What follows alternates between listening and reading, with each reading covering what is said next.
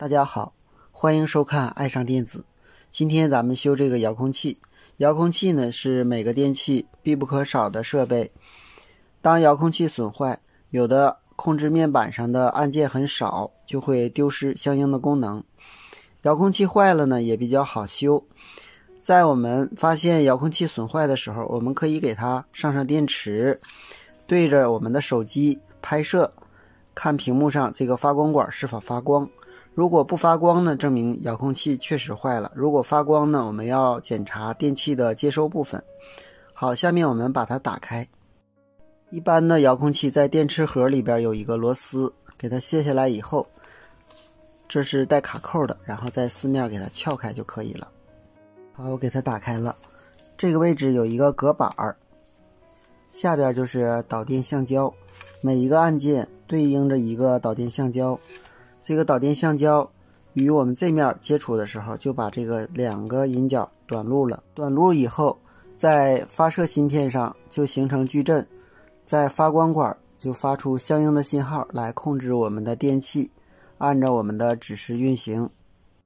如果有单个的按键不好使，我们可以看一下这个导电橡胶是否接触不良或者有断线的地方。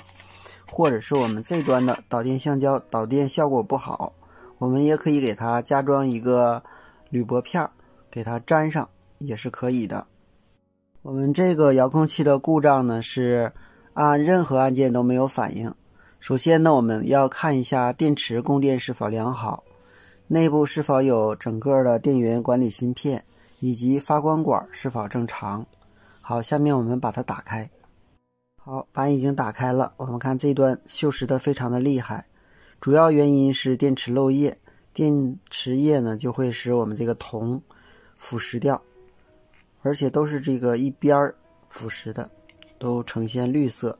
这还有一个开关，不知是否接触良好。这个电池夹的弹簧没有什么问题。另外，我们看一下这个发光管是否正常。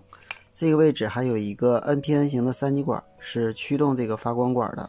发光管的正极是直接接到电源的正极的，这端也就是发光管的负极是接这个三极管的极电极。三极管的发射极是接 D 的，它的极极是通过我们这个红外发射芯片驱动的，然后控制我们的红外发光管发光，从而进行信号的传递。这个位置还有一个电感以及一个电源管理芯片，应该是进行降压的，主要是给我们芯片供电的。现在咱们先不管它，因为我们发现这个铜箔片已经锈蚀的严重了。我们测量一下这个电池夹与地线是否接触良好。这个位置是地线，我们看已经开路了，已经开路了，与这端也已经开路了。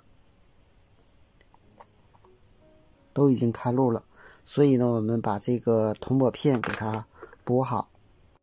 我们可以用钢锯条把锈蚀的地方给它刮干净，刮干净以后，我们再用酒精给它擦干净，然后把需要连接的地方用导线给它连上，再用酒精给它擦拭干净。我们先给它加点松香水，这样焊接比较容易。加焊锡。